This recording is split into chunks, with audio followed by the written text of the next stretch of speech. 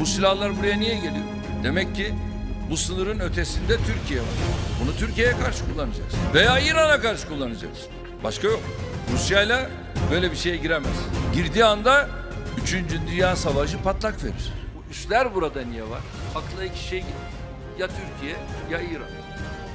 Herhalde Amerika şeye, Rusya'ya karşı bu işi kullanacak değil. O zaten 3. Dünya Savaşı'nın ifadesi anlamı. Osmanlı Torunu kanalından herkese selam. Bu videoda 3. Dünya Savaşı hakkında konuşacağız. 3. Dünya Savaşı ne zaman çıkacak, nasıl çıkacak veya nerede çıkacak? Gelin tüm parçaları birleştirelim.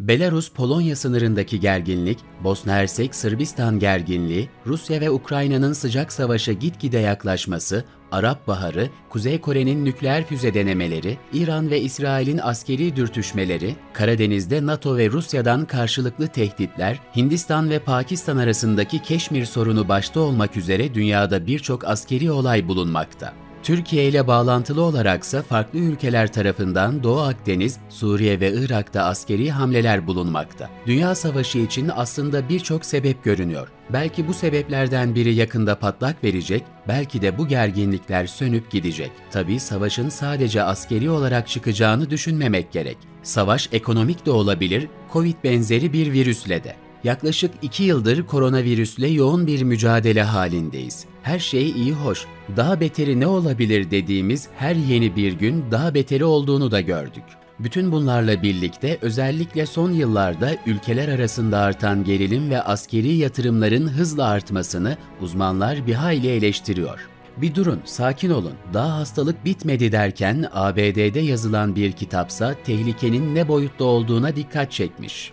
Basit bir bilim kurgu ya da distopya kitabı gibi görünse de ülke basınında yer alan 2034 Dünya Savaşı Senaryosu isimli kitapta küresel yangın olarak adlandırılan en kötü senaryoya yer verilmiş. ABD'li emekli amiral James Stavridis ve gazeteci Elliot Ackerman'ın kaleme aldığı kitapta 2034'te ABD savaş gemilerinin Güney Çin denizine girmesiyle 3. Dünya Savaşı başlıyor. ABD ya da Çin'in bu savaşı başlatması olağandı zaten ama savaşın bahanesine yer verildi mi bilemiyorum. Belki de Çin Başkanı Xi Jinping'in duvara Apple ürün fırlattığı bir videoyu yayınlamasıyla başlayabilir.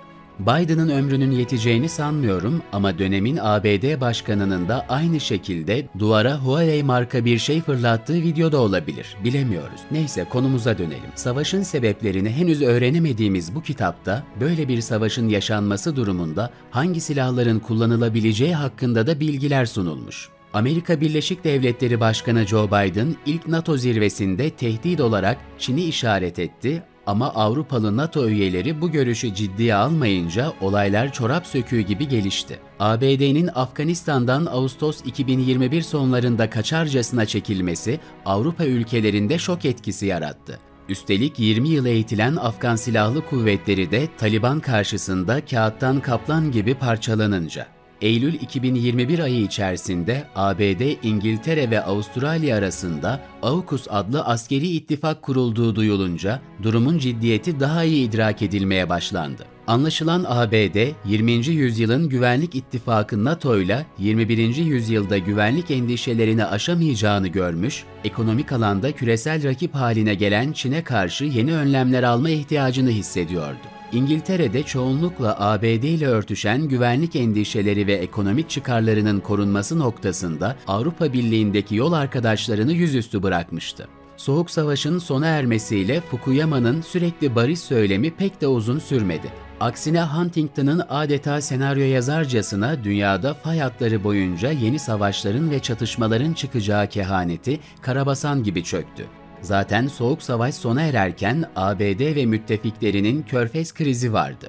Bunu takiben dağılan Yugoslavya'da, Bosna Hersek'te soykırım derecesinde kıyımlar yaşandı. Bunu Kosova'daki daha düşük yoğunluklu çatışmalar izledi. Kuzey Kafkasya'da ise Çeçenler bağımsızlıkları için Dudayev'in liderliğinde Ruslarla mücadeleye tutuşmuşlardı. Milenyuma girilirken 11 Eylül 2001'de New York'taki ikiz kulelere ve Savunma Bakanlığı'na intihar saldırıları düzenlendi. Soğuk Savaş sonrası adeta dokunulamaz saydıkları ülkelerine gerçekleşen saldırılar neticesinde Amerikan kamuoyu şoka girmişti. El-Kaide'nin üstlendiği bu terör faaliyetleri üzerine dünya çapında küresel teröre karşı seferberlik başlatıldı. Tüm uluslararası uçuşlara, açık hava alanları ve limanlarda çok sıkı güvenlik önlemleri yürürlüğe girdi. Doğu Akdeniz'de, Süveyş kanalından Avrupa'ya yönelik şüpheli gemilerde terörist veya kaçak silahları araştırmak üzere NATO bünyesinde Aktif Çaba adlı Türkiye'nin de yer aldığı çok uluslu bir görevin icrasına başlandı.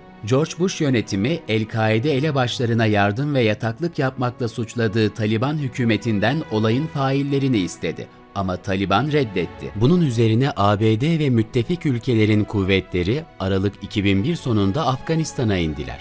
Taliban çekilince de yerine ABD'nin istekleri doğrultusunda yeni yönetimler kuruldu. Afganistan'ı takiben ABD Dışişleri Bakanı Colin Powell, 2003 yılı başlarında Birleşmiş Milletler Genel Kurulu'nda adeta tüm dünyanın gözünün içine baka baka yalan söyleyerek Irak'ta kitle imha silahlarının yerlerini slaytlar halinde gösterdi. Neticede 20 Mart 2003'te ABD ve yandaşları Almanya ve Fransa'ya rağmen Irak'a girdiler. Ama Irak'ta iddia edilen silahların olmadığı anlaşıldı. Fukuyama'nın özlemi Soğuk Savaş'ın bitmiş olmasına rağmen bir türlü gerçekleşememiş, aradan 12 yıl geçmeden iki kutuplu denge halinin bile ABD'nin tek kutuplu düzensizliğinden daha istikrarlı olduğu anlaşılmıştı. Irak işgaliyle Saddam Hüseyin'in Sünni Baas rejimi yerine Şii ağırlıklı hükümetler kuruldu.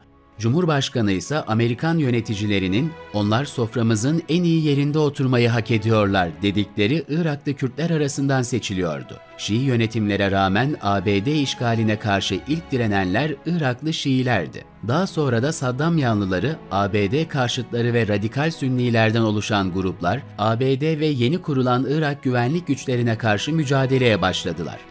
Bu arada ABD'nin Powell'dan sonraki Dışişleri Bakanı Condoleezza Rice'ın ortaya attığı Büyük Orta Doğu projesi çoğunlukla ABD'nin Orta Doğu'ya demokrasi getireceği şeklinde yorumlandı. Ama gerçekte ABD'nin çıkarları için bölgeye yerleşmesinin bahanesiydi.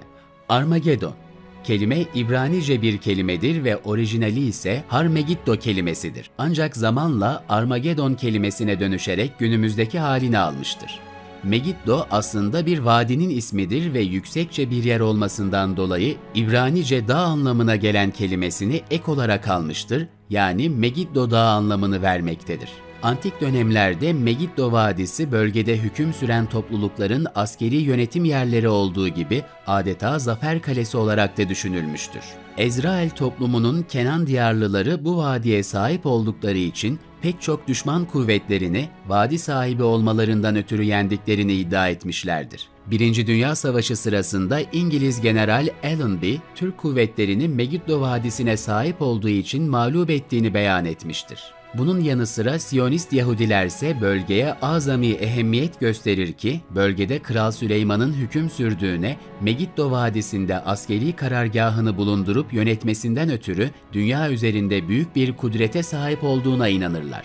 İlginçtir Siyonistler kerameti ya Megiddo isimli bir dağda ya Solomon Tapınağı isimli bir yapıda ya da bir yüzükten Hazreti Süleyman'ın kudret aldığını düşünmekten vazgeçmezler. Yine köklü bir inanışa göre dünyanın son savaşının olacağına inanılan yer işte bu Megiddo Vadisi'nde gerçekleşeceği söylenen Batı dünyasında Armageddon, İslam toplumunda ise Melhame-i Kübra olarak adlandırdıkları savaşın adıdır. Yine inanışa göre bu savaş, dört semavi din mensupları tarafından beklenen Deccal adına çıkartılacak olan bir savaştır.